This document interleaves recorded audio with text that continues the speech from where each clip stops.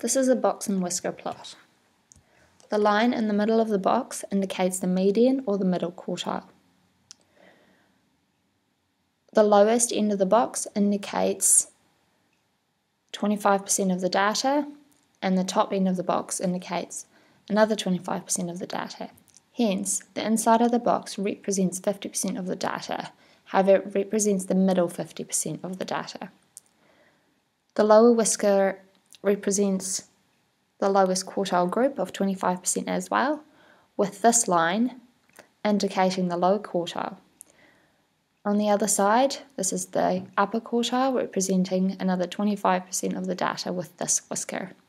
This is the minimum number of the data, this is the maximum. When interpreting a box and whisker plot, there are a number of aspects I can look at. For example, I can compare the minimum values. So I can say that people in Auckland travel further to work than people in Hamilton. And I can say this um, because in Hamilton, the minimum distance travelled might be about five kilometres, whereas in Auckland, the minimum distance might be closer to 15. I can also say that in Auckland, people tend to travel further to work. I can say this because the maximum people travel to Auckland is 45 kilometres, while in Hamilton it's only 40 kilometres. I can further back this up with the statement of Aucklanders travel further to work than people from Hamilton because the median for Auckland is 25 kilometres, whilst it's only 20 kilometres for Hamilton.